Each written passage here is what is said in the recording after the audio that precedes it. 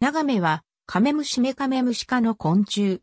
和名は、菜の花につく、カメムシの意味で、油中の植物に集まることから名付けられた。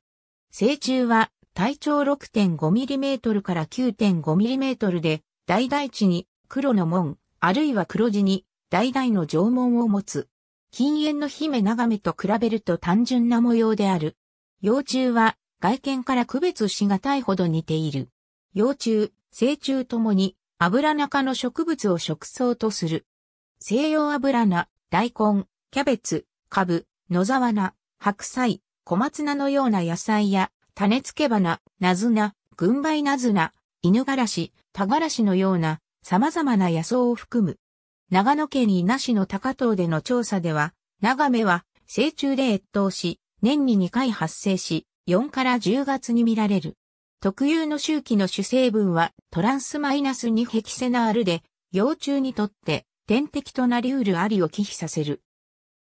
それだけでなく、幼虫はこれを仲間に対する警告と集合という反対のフェロモンとして利用する。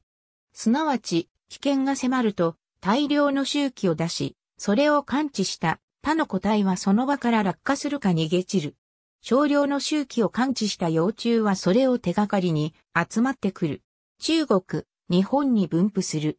平地から山地にかけての草地に生息する。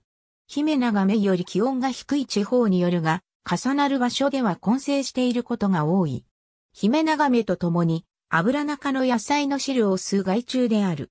被害を受けた歯には小さな白い斑が生じ、数が多いとしおれてかれる。ありがとうございます。